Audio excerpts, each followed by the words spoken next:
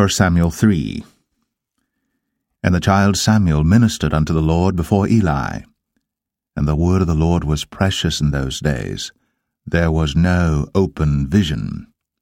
And it came to pass at that time, when Eli was laid down in his place, and his eyes began to wax dim, that he could not see, and ere the lamp of God went out in the temple of the Lord, where the ark of God was, and Samuel was laid down to sleep, that the Lord called us Samuel, and he answered, Here am I.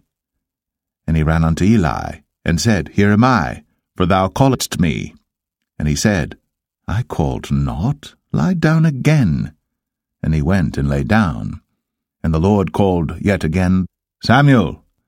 And Samuel arose and went to Eli, and said, Here am I, for thou didst call me. And he answered, I called not my son, lie down again. Now Samuel did not yet know the Lord, neither was the word of the Lord yet revealed unto him. And the Lord called Samuel again the third time, and he arose, and went to Eli, and said, Here am I, for thou didst call me. And Eli perceived that the Lord had called the child. Therefore Eli said unto Samuel, Go, lie down, and it shall be, if he call thee, that thou shalt say, Speak, Lord, for thy servant heareth. So Samuel went, and lay down in his place. And the Lord came, and stood, and called, as at other times, Samuel, Samuel.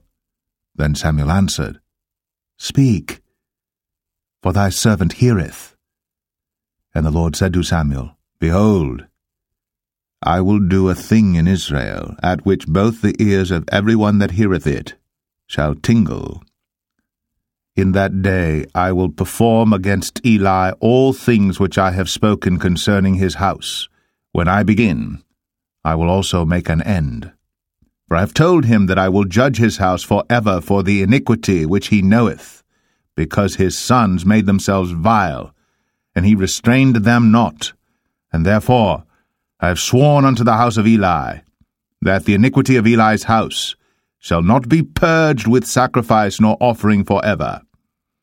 And Samuel lay until the morning, and opened the doors of the house of the Lord. And Samuel feared to show Eli the vision. Then Eli called Samuel, and said, Samuel, my son. And he answered, Here am I. And he said, what is the thing that the Lord hath said unto thee?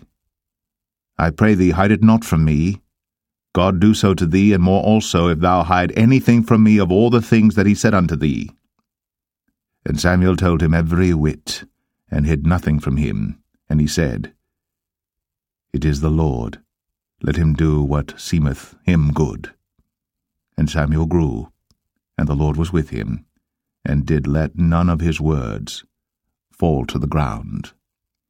And all Israel from Dan even to Beersheba knew that Samuel was established to be a prophet of the Lord. And the Lord appeared again in Shiloh. For the Lord revealed himself to Samuel in Shiloh by the word of the Lord.